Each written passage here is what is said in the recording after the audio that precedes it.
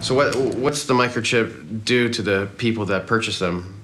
Like, how do they work for the average day person? Uh, well, we'll release the nanobots for to take over the neural cortex, and then I run them from my PlayStation. no.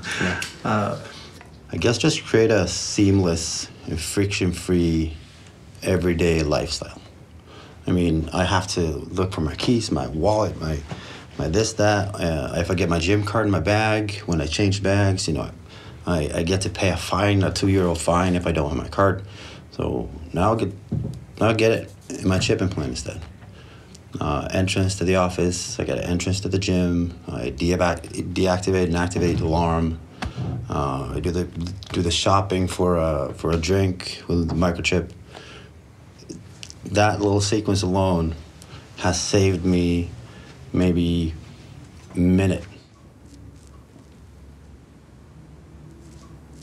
One chip to rule them all. just no, just well, and you pre you predefine your digital experience. Like, all right, what do you want happening Monday through Thursday when you enter the office? If I enable you to tie your digital persona to your actual physical person by integrating technology into your body, I'm giving you a digital voice that can speak for you in machine's native language, but also if you can't speak for yourself. Like, you find a horse running around in the Stockholm city center, they gave him a digital voice or her. So I don't have one. I do now, but they don't know it. So if they find me on the street and I'm diabetic, they're gonna think I'm drunk and put me in the, the drunk tank and I'm gonna die, which is boring.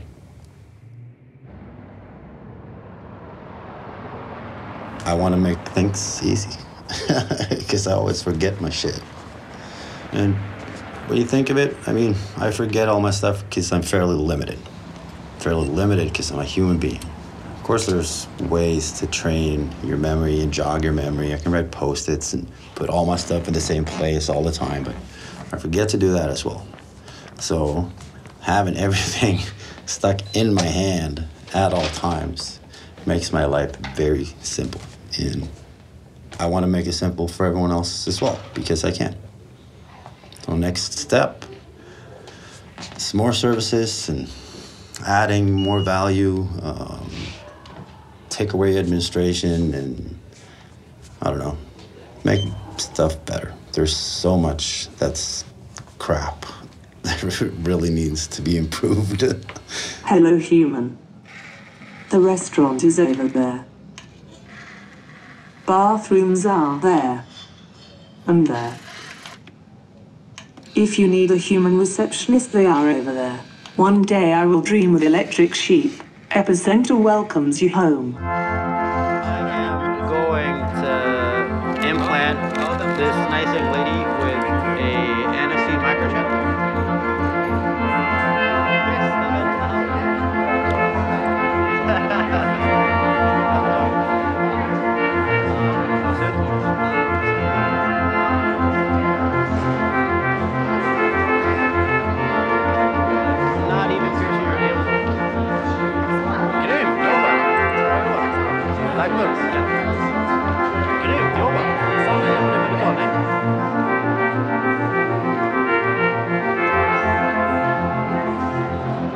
Cool to be a cyborg. I love sci-fi and, and fancy things, so that's one reason.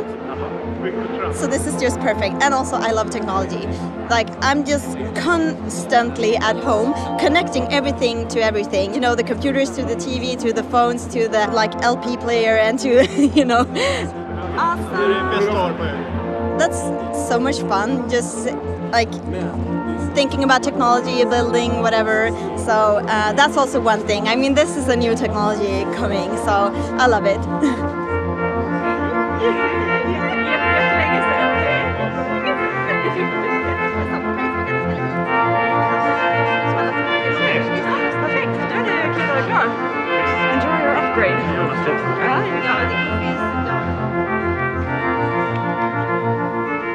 Jos tällainen teknologia ihon alle tai kehoon asennettava teknologia tulee, niin sitten yllättäen niitä on kaikkialla. Mutta jälleen kerran siihen liittyy sitten tietoturva ja muut tällaiset seikat ja pitää varmaan hyvin tarkkaan miettiä, että puututaan siihen, että tällainen teknologia ei lähetä käyttäjästään mitään tietoja sellaisille tahoille, jotka sitä tietoa ei tarvitse. Jos ei ole itse ollut mukana seuraamassa vierestä asti, että miten sellainen siru valmistetaan ja mitä kaikkea siihen tulee, niin sanoisin, että kannattaa olla tosi varovainen ennen kuin sellaisia ottaa kehoonsa ja kannattaa miettiä niiden tarkoitukset tosi huolellisesti